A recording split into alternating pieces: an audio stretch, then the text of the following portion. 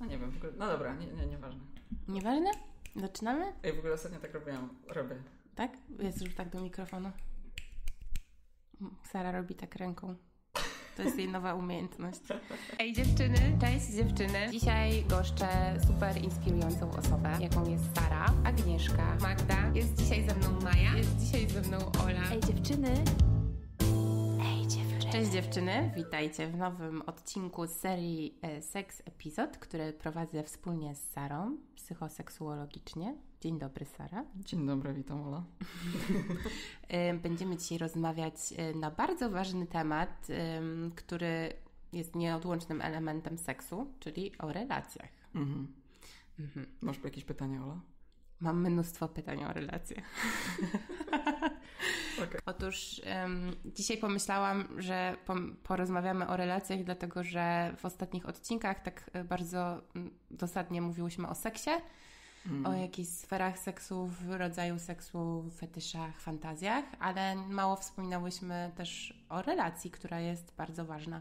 Jasne, I chciałam Ci zadać pytanie, śmiało. która relacja jest dla nas najważniejsza? Okej. Mm, Ej, mm, okej, a myślisz, że mm, to zależy od etapu, na jakim jesteśmy w życiu? Tak. No bo jak jesteśmy Mhm. dziećmi, no to pewnie ta relacja z rodzicami jest dla nas taka, no, istotna. No kluczowa, Ważna. Mhm. nawet chyba później. Tak. I potem sobie przerzucamy tę tą relację z naszymi rodzicami na inne relacje. Mm, Zdarza się. Mhm. A dla ciebie jaka relacja jest najważniejsza? Z samą sobą. Mm. No. W sensie myślę sobie, że relacje powiedzmy z rodzicami nas kształtują na jakimś etapie dzieciństwa i tak jak mówiłaś, znajdzie, znajdujemy ich odbicie w późniejszych naszych relacjach, czy z przyjaciółmi, czy z partnerami. Ale summa summarum wydaje mi się, że nie można stworzyć do końca zdrowej relacji z drugim człowiekiem, jeśli nie ma się zdrowej relacji z samym sobą. Mhm. Jasne. Czyli jak nie, nie kochamy siebie, nie lubimy siebie? No to taki banał jest, nie? Ale w sumie tak na to wychodzi. Trochę tak. Zawsze na to wychodzi. Okej. E, no tak, tak myślę. No dobra, no to zaczynamy od, y, mm, od relacji z rodzicami i potem Mhm. w pewnym momencie zdajemy sobie z tego sprawę, że relacja z samym sobą, z nami jest to najważniejsza. Mm, no myślę, że tak, chociaż wydaje mi się, że nie wszystkim szczęśliwcom jest to dane. W sensie wszystkim ludziom. Że czasami ludzie zapominają o tym, bardzo często. Mm, myślę, że w ogóle w pędzie tego świata. A nie czujesz, że właśnie trochę się zwiększa ta samoświadomość? Taki wgląd w siebie i to, że potrzebujemy najpierw siebie, żeby... Mm, Biorąc pod uwagę popularność kont y, związanych z psychologią, z seksem i z rozwojem osobistym, no to na pewno tak. Pytanie tylko, co z tym ludzie robią dalej? Czy czytają to i śledzą i ma to jakiś realny wpływ na ich decyzje i, i działania? Czy to finalnie jest po prostu czymś, co obija im się o uszy i lecą dalej w nieświadomości, znaczy w świadomości, której nie chcą przyjąć, a jakby nic z tym nie robią dalej? Bo to trudne. No trudne, trudne. No i dzisiaj też tak y, pomyślałam, że będziemy rozmawiać o tych relacjach, bo dla mnie relacja z samą sobą jest mega ważna w ostatnich mm, tygodniach. Em, I też to, że zawsze powtarzam na swoim profilu, że trzeba się zatrzymać, nie czuć jakiejś powinności, być wobec siebie czułym. Mm, A wydaje mi się, że mm, po ostatnim czasie pandemii i lockdownu wszyscy chcą nadrobić ten stracony czas. I świat pędzi jak szalony. I ja na przykład czułam, że już trochę nie ma w tym moim życiu mnie, tylko jest wszystko inne naokoło: praca, rodzina, przyjaciele, podcast, i że jestem mega przytłoczona i potrzebuję się zatrzymać. Jasne. Poczułam się sfrustrowana i wydaje mi się, że ta frustracja się przekłada wtedy na każdy element, że jeśli nie zadbasz o siebie i o relacje z samą sobą, to nagle się okazuje, że nie wiem, źle sama siebie oceniasz i myślisz sobie, kurde, ale nie wiem, nie mam czasu dla siebie, jestem zaniedbana, albo że kurczę, dawno nie przeczytałam jakiejś książki, czyli też nie karmię swojego umysłu, A- albo na przykład, że nie wiem, nie wychodzi mi w relacjach partnerskich i to wszystko to jest wina moja, albo tej drugiej osoby, albo Tak. coś, a finalnie się okazuje, że to jest trochę wynik zaniedbania y, właśnie takiego, takiej relacji z samej ze sobą, nie? Tak, kiedyś, jakiś czas temu przeczytałam, to dość myślę popularne jest, y, takie zdanie, y, szukałam wszędzie, a to było we mnie. Mhm. E, Myślę, że no, taki czas tej pandemii i wszystkich rzeczy, które się dzieją w ostatnim czasie, był takim czasem, kiedy się świat zatrzymał. Mhm. Dużo osób się zatrzymało, no przynajmniej większość osób w jakichś swoich codziennych zadaniach, które, czy w relacjach, bo nawet kto zastanawiał się nad tym, jak będą wyglądać związki, kiedy dwie osoby są ze sobą zamknięte. No nikt. No właśnie, nie? i jak będzie, będzie wyglądać ta relacja, jak będzie wyglądać ich intymność Mhm. e, i przestrzeń, której, o którą każdy się trochę bije w sumie. Wpadłam trochę na coś teraz. Śmiało. Że tak jak się mówi, będę z tobą do końca życia, a co jeśli byłoby, będę z tobą do końca życia w zamknięciu? Czy każdy by się na to zdecydował? O, super. no dokładnie. Wiesz o co chodzi? Tak. Że, no, ale to też jest, będę z, z samym sobą do końca życia w zamknięciu i to też jest trudne. No, smutne trochę. Chociaż, no właśnie, bo to zależy od tego, jaką mamy relację ze sobą. Nie? Znaczy, był ten opi- y, y, odcinek z dziewczynami, w którym mówiłyśmy o pandemii z moimi przyjaciółkami, Mhm. mm, wine epizod. I wtedy mówiłam, że tak, że tak super było, bo byłam w tym zamknięciu. I to prawda, tylko że. y, Znaczy, to jest w ogóle super, prawda? Bo ja w tym lockdownie musiałam się zbliżyć sama do siebie i zadbać o siebie, i nagle się okazało, że nie mam tych wszystkich powinności na zewnątrz, bo nikt nic nie robi, więc Tak. Jakby jakoś tak łatwiej ci na duchu, że nie jest tak, że się opierdalasz, tylko wszyscy się opierdalają, nie? No, dokładnie. E, tak mówiąc bardzo potocznie. E, I pamiętam, że mm, i to był taki pierwszy moment, w którym byłam sama ze sobą i nie miałam żadnej powinności, musiałam się zająć tylko i wyłącznie swoim ciałem i umysłem. Mm. I to był pierwszy krok i taki, wiesz, pierwszy kawałek tortu odkrytego, że kurde, ja o tym mega zapominam. Tak.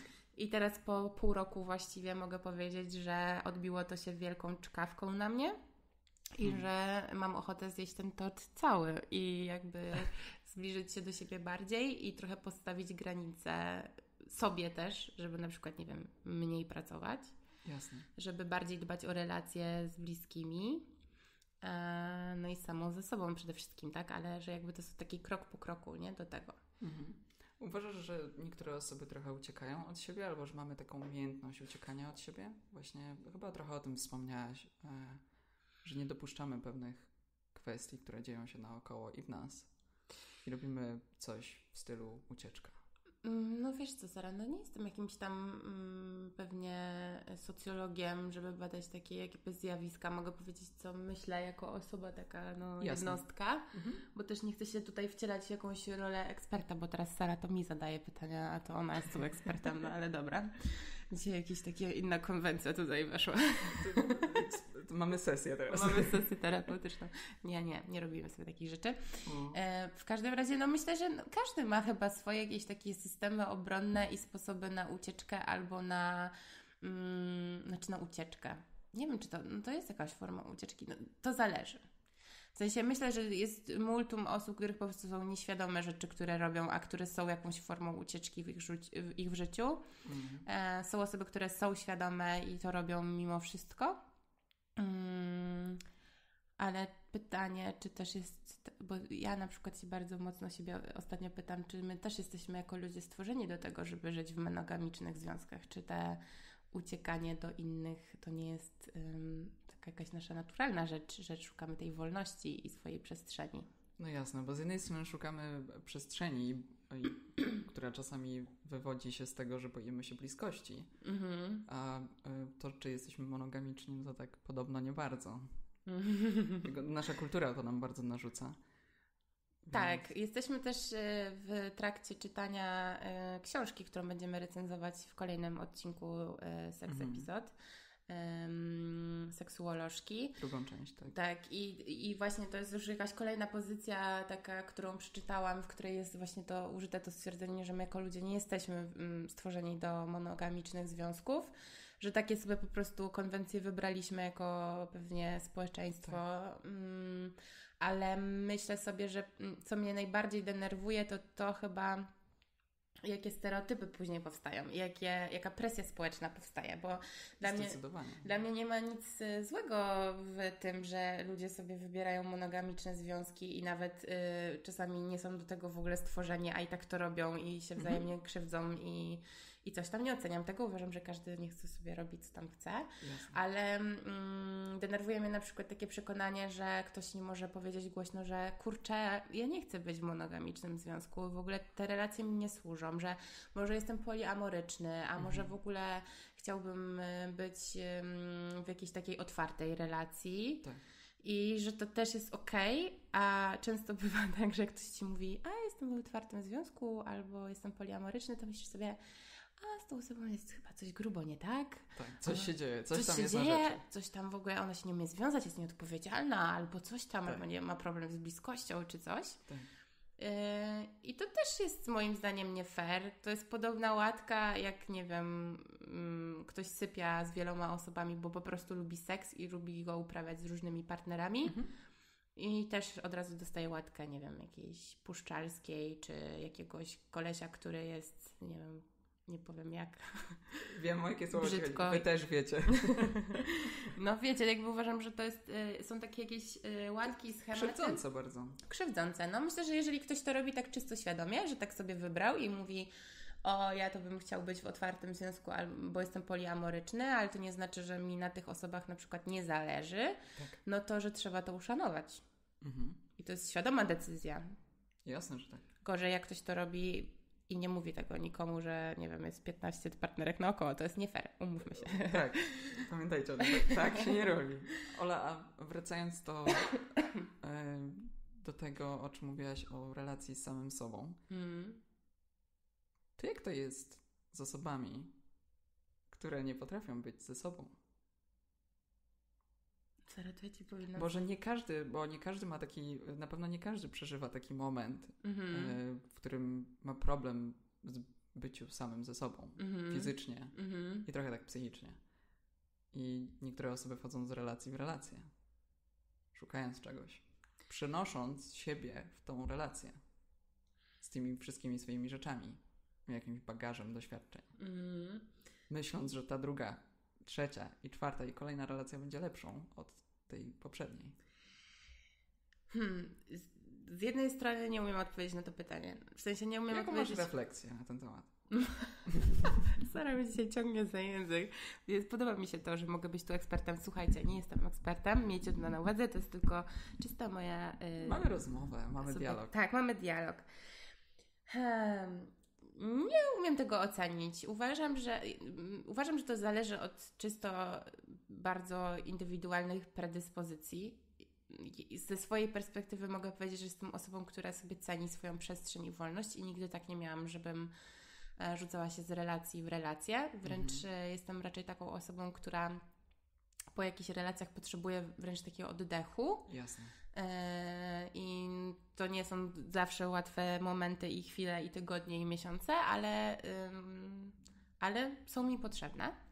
Tak. Myślę też sobie, że każda relacja czegoś uczy i że jakby wchodzenie z, w jednej w nową i tak dalej z jakimś bagażem doświadczeń, ale takim przemyślanym, z refleksją, Mhm. może być tylko na plus.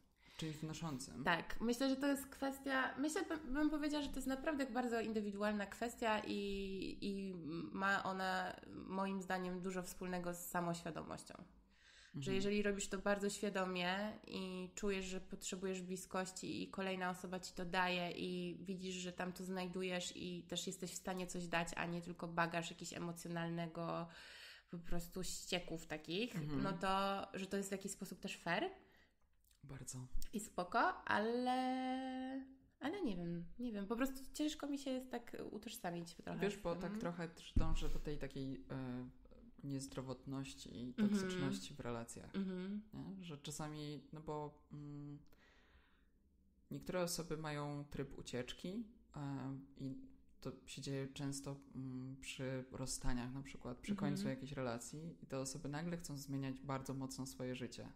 Nie wiem, Mhm. czy zauważyłaś trochę, że tak czasami się zdarza, że No tak. kończymy relację i nagle, nie wiem, zmieniamy miejsce zamieszkania, albo Mhm. zmieniamy garderobę, Mhm. albo zmieniamy, nie wiem, coś w Kolor naszym, włosów. kolor włosów, coś w naszych Mhm. pomieszczeniach, Ale właśnie z taką wyprowadzką to bardzo często jest tak, że my czujemy często, że chcemy zaczynać od nowa, od początku, a my wchodzimy Mhm. tacy sami w to miejsce. My tylko miejsce zmieniamy, tylko swoją Mhm. lokalizację, tylko, nie wiem, adres. A tak naprawdę jesteśmy cały czas tymi samymi osobami i możemy przenosić siebie, takiego samego lub taką samą w inną relację z nową Mhm. osobą. I to jest, to czasami bywa nie, nie okej, Mhm. kiedy czujemy, że coś jest niedobrego, nie, może nie, nie, że niedobrego, a niezdrowego w nas po prostu. Mhm. Znaczy, no myślę, że tutaj te, wypływa ta taka toksyczność e, w relacjach e, z tego, co powiedziałaś, kiedy ktoś nas po prostu trochę zalewa też e, Mhm. swoją, swoją emocjonalnością, swoimi problemami. Tylko wiesz, Sara, zawsze sobie myślę, że jeżeli w relacji są dwie osoby albo kilka, jak lubimy, Tak. no to jednak ta druga osoba też się w jakiś sposób na to godzi, że dostaje taki od tej drugiej osoby jakiś taki toksyczny Coś. coś. Mhm. Może też nie wiedzieć, jak ma się z tym czymś obchodzić, może też nie wyznaczyć tych granic. Ym, Nie wiem, czy dobrze mówię. Wydaje... Znaczy, nie, nie chodzi mi o to, żeby dobrze mówić, ale mm, jakby ja uważam i z perspektywy osoby świadomej siebie i tego, czego potrzebuję, że gdybym, e, że już zdarzyło mi się być w takiej relacji, Mhm. gdzie druga osoba bardzo mocno zalewała mnie swoimi odczuciami, e, nawet z poprzedniego związku. Mhm. Jakby Tak. wiesz, przychodzi, spotykamy się, niby jest fajnie, niby budujemy coś może nowego. E, Jest to takie bardzo jeszcze niedopowiedziane, ale słyszę cały bagaż doświadczeń e, z poprzedniego związku, co jest na początku wiadomo ujmujące, bo ktoś jest taki skrzywdzony i kochany. Jasne. Znaczy taki nie, nie kochany, ale do zaopiekowania się, nie? O tak. Super. No ale z czasem, e, kiedy już mija parę miesięcy i czujesz, że to jest dalej na tapecie i właściwie w tej osobie się niewiele zmienia, a wasza relacja się już zaczyna być bardziej wiążąca i ty Tak. się angażujesz i tak dalej, no to ja ym, nauczyłam się, chociaż z wielką e, trudnością i zajęło mi to parę lat i ile kilkanaście sesji terapeutycznych, żeby umieć wyznaczać granice. I to też nie jest łatwe, bo mm, mam takie poczucie, nie wiem jak ty, Tak. często jak spotykamy osoby, które w jakiś sposób są dla nas toksyczne, to one też nas bardzo przyciągają do siebie. Mhm. I to jest takie, że z jednej strony chcesz powiedzieć nie, ale z drugiej strony, kurde, tak bardzo chcę tę osobę, bo mm, e, zawsze sobie myślimy, że łopus kocha najbardziej, albo że ja to zmienię, tę, tę osobę, zaraz się ze mnie śmieję. Ale tak jest, nie? I- Bardzo mnie rozbawił ten łobuz. Łobuz, no. Albo łobuziara. Łobuziara, no oczywiście, że tak. No i tak myślę, że, mm, że wtedy jest trochę taka. Y, trzeba tak podjąć taką twardą decyzję y, Mhm. i taką bardzo, i bardzo przy niej stać, że jeżeli czujemy, że coś nas ciągnie w dół, że to jest za dużo, a jednocześnie czujemy Tak. ogromny pociąg do tej osoby, to tak się zatrzymać, właśnie znowu mówię o tym zatrzymaniu się, bo ten temat jest mega bliski mi ostatnio, że zatrzymać się zastanowić się, co ta relacja z nami robi i po prostu sobie samej powiedzieć, czy samemu, że stop. Stop, tak. No właśnie często dobrze byłoby się zastanowić skąd, gdzie jest źródło tego, że to nas przyciąga. Ale to są Mhm. rzeczy, które ktoś nam pokazał, taki rodzaj bliskości czy miłości. No ale Takiej ktoś nas nauczył. a kto nam ma teraz, znaczy myślę, że też ciężko samemu jest y, czasami dojść do takich wniosków, nie? Jasne. No, dlatego czasami stąd mamy e, pracę na terapii, Mhm. czy wiele mądrych książek, ale mm, i jakiś taki wgląd po prostu w to, co się dzieje. A dzięki tym trzem rzeczom Mhm. możemy czasami dotrzeć do czegoś dobrego.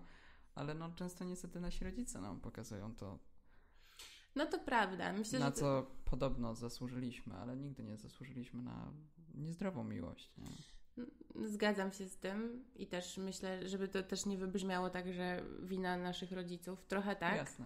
Mhm. ale też e, nasi rodzice też są ludźmi i też im ktoś to pokazał, nie? Tak, to tak, jest tak, ten tak, łańcuszek. To tak nie Tak. jest, że oni sobie to wymyślili, tylko też skądś coś mają. Tak, ale naszą odpowiedzialnością trochę jest też to, żeby zrobić sobie Tak. dobrze i żeby to zatrzymać ten łańcuch po prostu, nie? To byłoby najzdrowiej.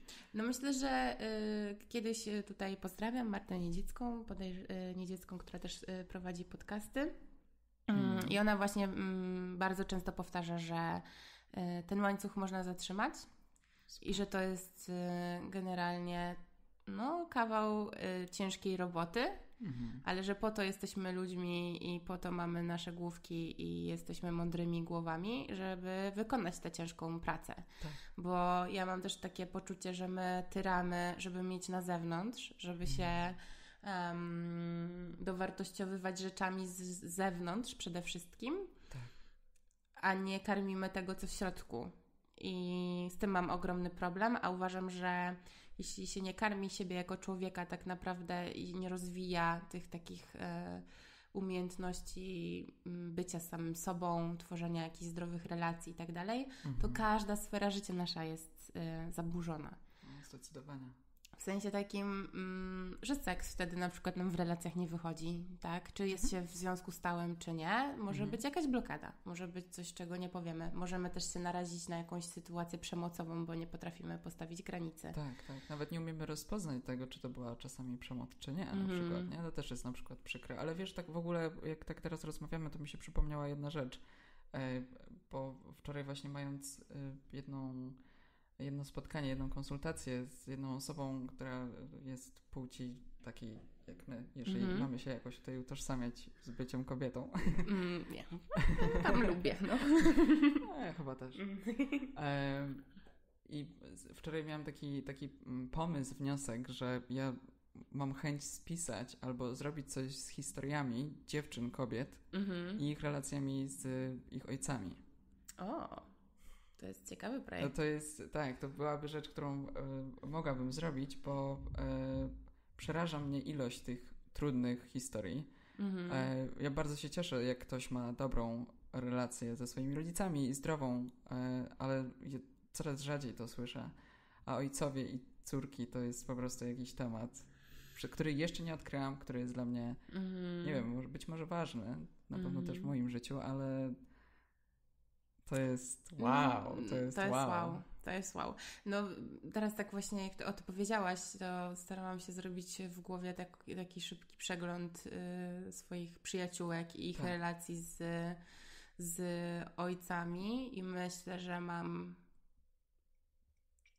z dwie takie bliskie przyjaciółki, które bym mogła powiedzieć, że mają dobre relacje z swoimi ojcami. A mam tych przyjaciółek sporo. Mm. No, przykro jest mi słuchać tych trudnych historii, wiesz, to, czy na spotkaniach z kimś, czy na konsultacjach, które prowadzę, ale mm, to jest po prostu.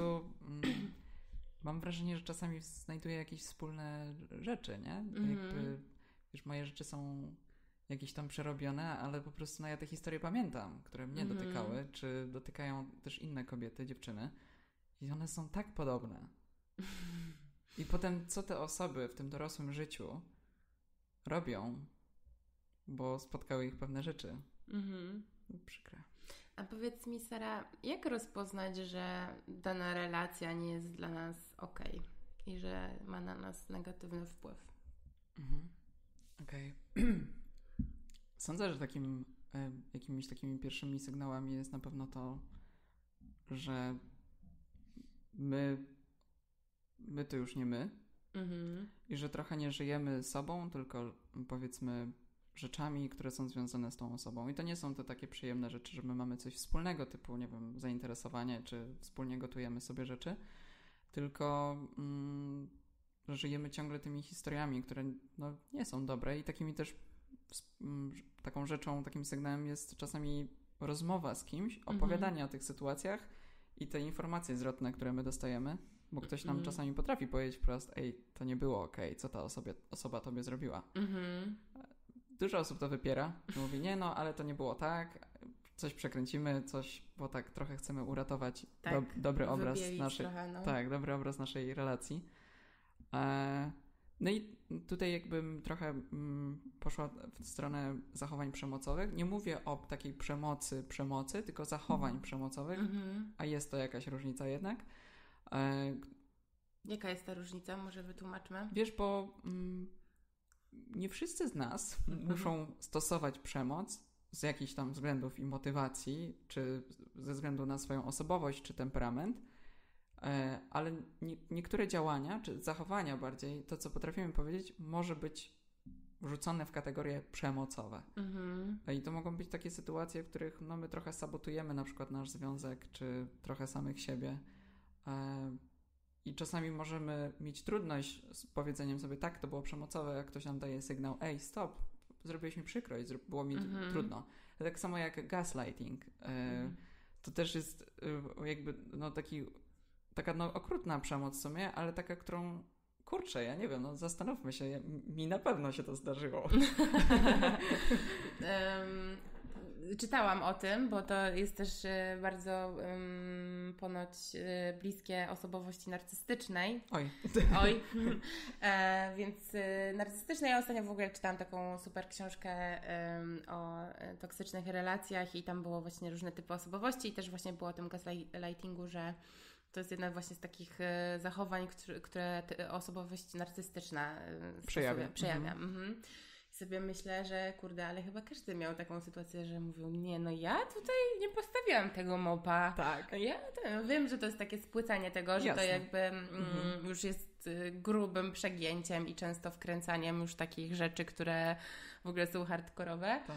Ale mm, myślę sobie, że chyba, y, że chyba każdemu się zdarzyło coś takiego No. zrobić. Jak trochę nieprzemyślenie, nie? Bo trochę chcieliśmy w jakiejś Mhm. sytuacji obronić trochę siebie, bo mm, czuliśmy, że o kurczę. Mi się jako dziecko zdarzyło kiedyś powiedzieć i wkręcać mojej mamie, że wcale nie zjadłam tej czekolady, że to No, Michał właśnie. zrobił i Tak. później mu się oberwało, bo wiedziałam, że to zrobiłam i że też mi się oberwie, więc trochę na niego Tak. Twoja mama zwaliłam. gaslighting. Gaslighting. Stop. Stop, jesteś narcyzem.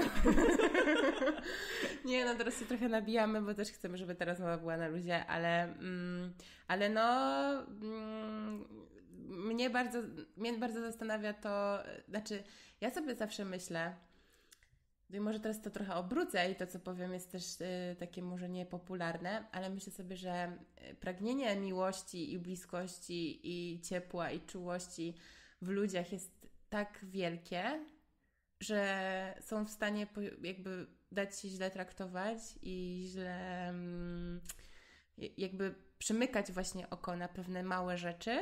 Ja nie mówię też już takiej o przemocy fizycznej, nie? bo to już jest takie przegięcie, ale chodzi mi nawet o takie relacje naokoło, na, naokoło y, nas. Jakby każdy z nas na pewno ma znajomych, w których sobie myśli o ich relacji, że hmm, tam jest coś dziwnego, nie? No, Tam się um- dzieje, Tam no. się dzieje i umówmy się, to jest ludzkie, jakby każdy z nas ma jakieś takie trochę intuicyjne Mhm. przejawy, albo ktoś na przykład coś Ci właśnie powie, tak jak Ty powiedziałeś, że kurczę, to było przemocowe, a ta osoba się nagle tłumaczy, że nie. Mhm, tak.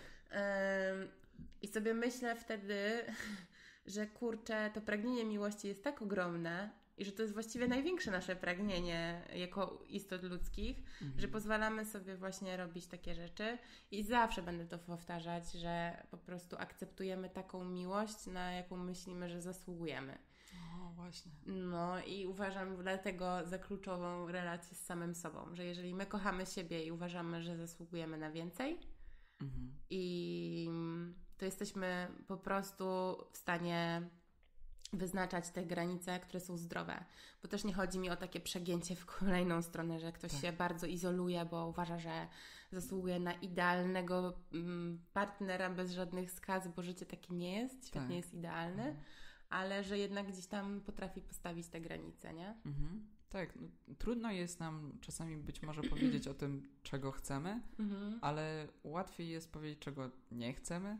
Mhm. E, I to jak jest, jak znajdziemy to coś, czego nie chcemy, to jest łatwiej też wyznaczyć te Tak. granice zdecydowanie. Tak. Co do relacji i do tego pragnienia tej miłości, no to tak, to jest trudne, bo mm, no bo często możemy myśleć sobie o tym, że na taką miłość zasługujemy. Mhm. E, No i często to, jaką, o jaką my miłość mm, bijemy się, walczymy, albo jaki pragniemy, bo to zależy, e, to często jest właśnie tam, dostajemy trochę tą miłość, albo szukamy tej miłości tam, która jest trochę tak nam bliska, właśnie z tych Mhm. innych relacji, które zapoczątkowały jakby nas, czyli tych relacji z rodzicami naszymi, czy opiekunami, czy te takie pierwsze relacje, które tworzyliśmy, ale właśnie z nimi. I Mhm. jeżeli my, jeżeli nam, dla nas coś było bliskie, czy to właśnie było mm, też mm, może to trochę dotyczy takich stylów przywiązania, chociaż ostatnio trochę może nie, aż tak nie wchodzę na te style przywiązania, no bo nie wiem, czy to się tak mocno przekłada. Podobno nie aż tak. Ale no to chodzi też o, głównie o relacje z naszą, z naszą matką, powiedzmy, nie? Mhm. Jaki potem mamy ten styl, czy taki bezpieczny, czy właśnie unikowy. Mhm. Ale mm, no ale sądzę, że właśnie często sięgamy po coś, co było nam bliskie jednak w dzieciństwie. Nie? To taki prosty wniosek, ale czasami taka refleksja nad tym, jaką my mieliśmy tą relację z rodzicami, czy jaką mamy, mm, to możemy popatrzeć na te swoje relacje z innymi Mhm. osobami i w historii takiej dorosłości już. Kropka. Sara, czemu relacje w seksie są takie istotne? Znaczy, czy, dlaczego relacja jest ważna dla sfery seksualnej? Mhm. Wiesz, myślę, że, że ważna jest relacja w, w, w tej kwestii, bo mm, myślę, że dla każdego z nas ważne jest poczucie bezpieczeństwa, takiej Mhm. akceptacji, e, tego, że jednak jesteśmy tak psychicznie też połączeni z tą drugą osobą, pomimo tego, że niektórzy są w otwartych relacjach i nie wpuszczają jakichś emocji do tych relacji, to mimo wszystko no, na pewno chcą czuć się bezpiecznie na przykład i tworzą jakąś relację z tą drugą osobą. Bo nawet jak to są otwarte relacje, to sądzę, że tam jest jakiś dialog Mhm. nie? I jak, jakieś lubienie tej drugiej osoby mm, pod względem tego, jaką jest osobą, powiedzmy. Mm. więc, y, więc tak, no. Być może, y, jasne, no. Mm, być może, nie wiem, nie czujemy do tej drugiej osoby nie wiadomo jakich emocji, czy miłości, czy zakochania, ale mm, sądzę, że to bezpieczeństwo i taka akceptacja, i, no bo seks to jest jednak dość duża rzecz. No tak, a co z takimi osobami, które na przykład uprawiają seks dla przyjemności, a niekoniecznie chcą, w, jakby, wiesz, no są takie osoby, które po prostu spotykają się z różnymi partnerami na seks, jest to Mhm. ustalone, są tam jakieś granice wytyczone, Mhm. e, obie strony się na to zgadzają Tak jest. i jakby nie potrzebują budować e, głębszej relacji. Mhm. No ja sądzę, że mm, przy- mm, Hmm. Coś tam, tak, znaczy nie powiem, że coś jest nie okej, Mhm. bo to nie o to chodzi. Jeżeli faktycznie tam są dwie dorosłe osoby, które dają zgodę na to, co się dzieje i dają Mhm. sobie tam zgodę na różne rzeczy, które się dzieją, to jest ich, to jest okej. E, Z tym, że czasami mm, mam taką myśl, e, tak może nieprofesjonalnie to zabrzmi, ale mam taką myśl czasami, No czego potrzebują te osoby? Mhm. A czego, czego się boją? No dobra, no ale jak e, rzuciłyśmy tezę, że nie jesteśmy stworzeni do monogami, no to dlaczego ten seks? Czy, czy czego się mamy bać? No tak, no bo. W sensie, że to trochę przeczy temu, nie? Co powiedziałyśmy na początku. No tak, ale odróżniajmy tą poligamię od poliamorii. Mhm. W poliamorii jednak podstawą są, myślę, zgoda wszystkich stron na bycie w takiej relacji. No i też mm, chodzi o miłość do Mhm. więcej osób niż jednej. A w poligami, no jednak może bardziej. No może tak trochę, nie wiem czy to okej zabrzmi, ale tak Mhm. bardziej wkładam to w, w seks po prostu. E, Mhm. W sensie w kontekst seksu, że te relacje bardziej opierają się być może na seksie, że możemy mieć seks z różnymi osobami i w to Mhm. już nie, nie wkładam uczuć jakby w, ten, w tą definicję. Ale mogę się mylić teraz w tym momencie. W każdym razie, jakie było pytanie? Zakupiłam się. A to jak relacje wpływają na naszą e, sferę seksualną? W sensie chodzi mi, dlaczego to jest takie ważne i stąd Mhm. wyszło, wy, wyszedł ten e, wniosek o tym, że, że jednak e, no, w tej sferze seksualnej liczy się też ta relacja Tak. i że ta poligamia to może trochę jest właśnie skupiona na seksie, tak? No, Nie, ja tak nie uważam. ja tak powiedziałem, tak zabrzmiałem. Tak zabrzmiało. W sensie tak wybrzmiało z tej y, wypowiedzi, że jednak no, żeby w tym seksie było dobrze i było fajnie, no to ta relacja ma ogromne znaczenie. A już na przykład właśnie jak e, trochę obróciłam kota ogonem i zapytałam o to, że co z tymi osobami, które uprawiają po prostu seks dla przyjemności, nie potrzebują już tej zażyłej relacji w tym, Mhm. no to czy... Okej, ja bym e, zaczęła od tego, że zaczęłabym od tego, że e, relacja relacją, bo tylko co jest w tej relacji? Bo nie musi, jakby sama, dwie osoby są lub więcej potrzebne do tego, żeby coś być może nazwać relacją. Możemy, Mhm. jasne, no też możemy relację nazwać samym ze sobą.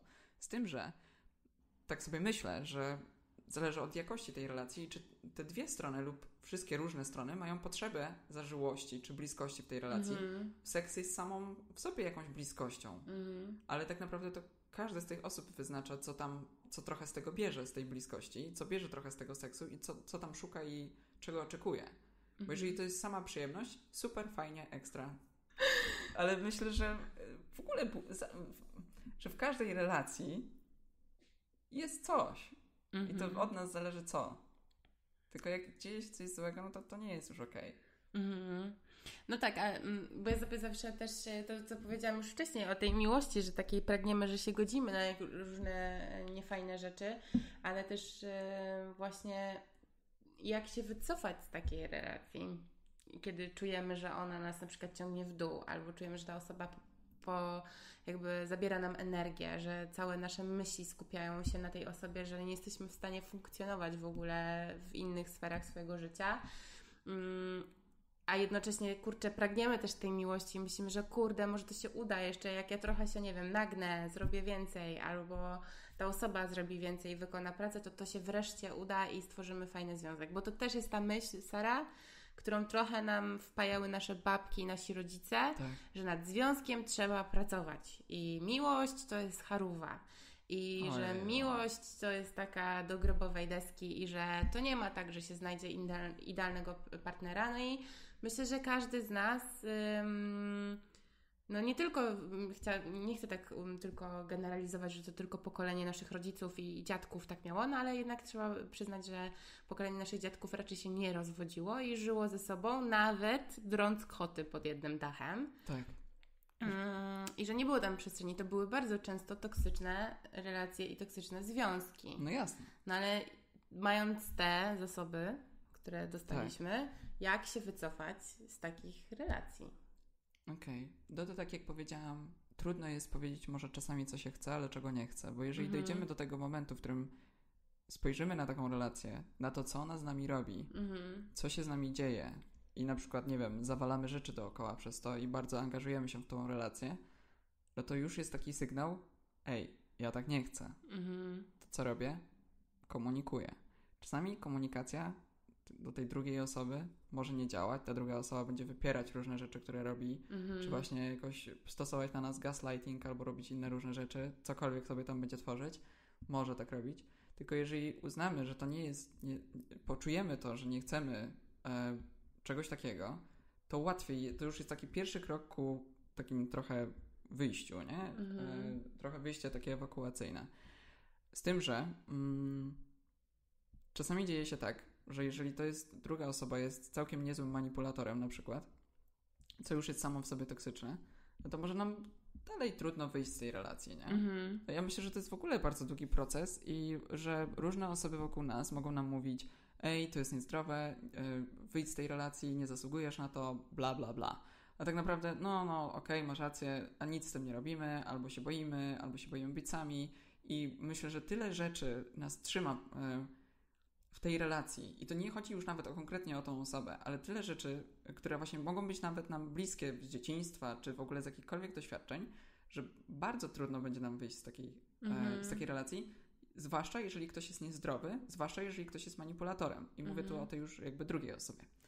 Więc e, sądzę, że dużo osób może nas trochę zakręci, zakręcić e, wokół swojego palca, e, nakręcić nam makaron na uszy, zamydlić nam oczy. Mhm.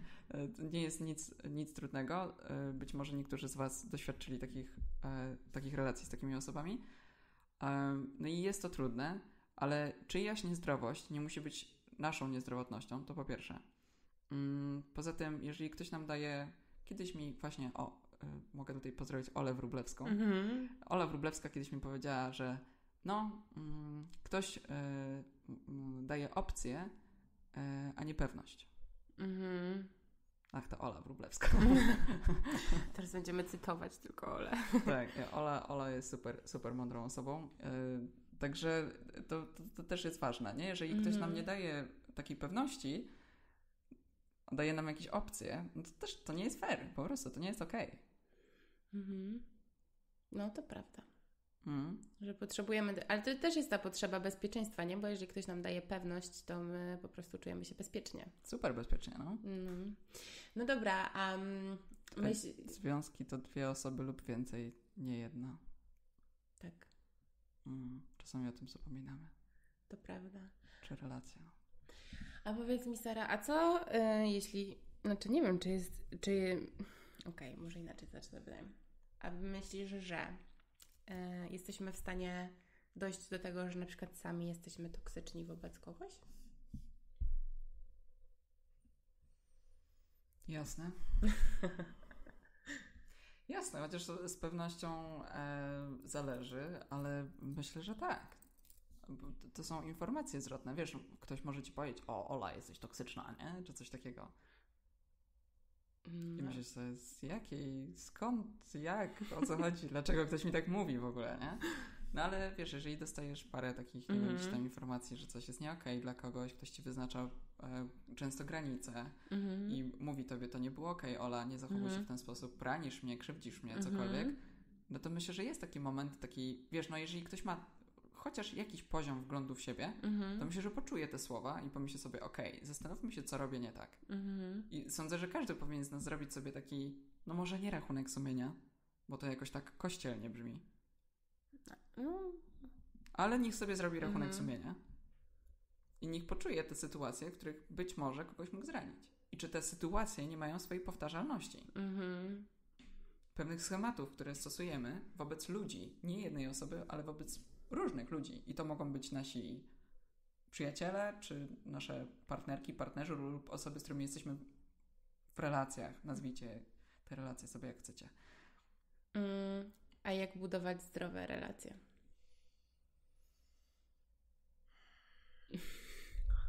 Tak, Mój, to, mój ekspert musiał nabrać wdechu.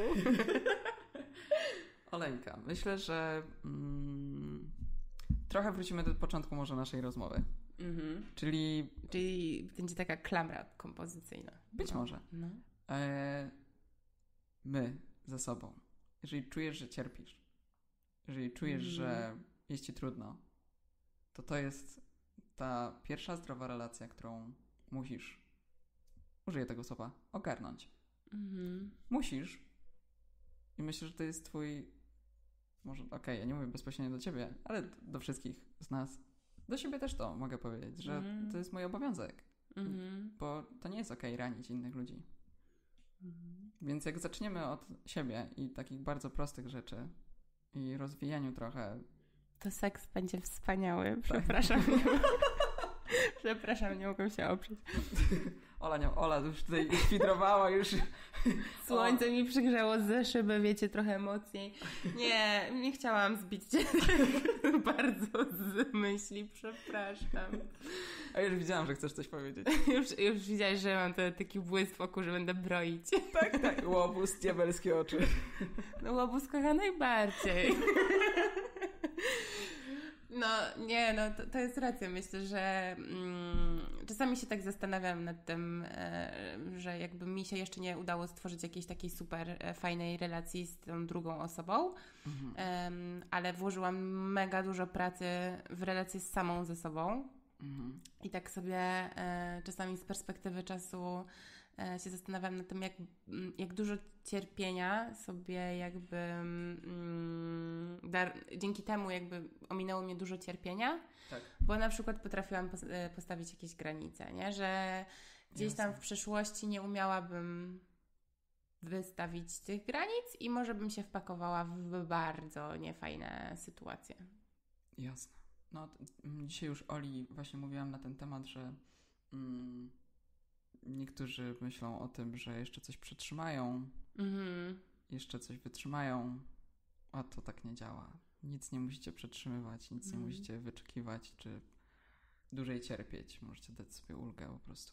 Mhm, możecie iść po pomoc i może Wam ktoś pomóc. Nawet jak jesteście najbardziej dziarskimi osobami na mieście, które po prostu robią takie fajne rzeczy, Są są, super cool. niezależne, cool. i w rodzinie brylujecie, to możecie powiedzieć stop, ja Tak chcę jest. pomocy. Mm,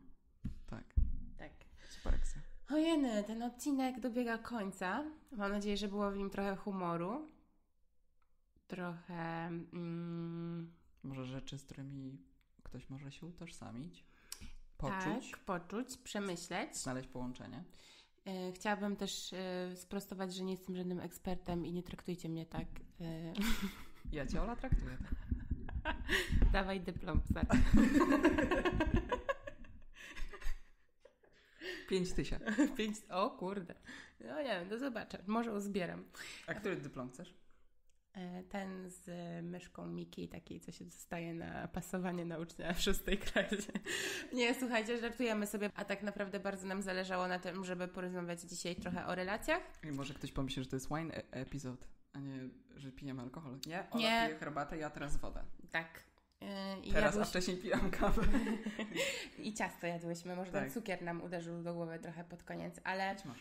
Mm, chciałabym po prostu powiedzieć, że będziemy prowadzić z Sarą cyklicznie Mhm. odcinki y, i właśnie one czasami będą tak stricte o seksie, może o jakichś technikach i jakichś fajnych y, rzeczach takich zalotnych. Sara zdradzi tu wszystkie możliwe sposoby uprawiania seksu, nie żartuję, ale no wiecie, będziemy rozmawiać bardziej tak dosadnie, ale też Mm. y, uważamy, że ym, chyba zgodnie. relacje. Mm. Tak, że seks jest y, jakby no, bardzo szerokim spektrum Mhm. i zawiera w nim nas samych przede wszystkim. Tak. Relacje. Tak. I to, jak się czujemy samym sobą. Tak, Dlatego powstał ten odcinek. tak jest. Tak jest. No, ej dziewczyny, bądźcie zawsze blisko siebie. Mm. Bądźcie zdrowe.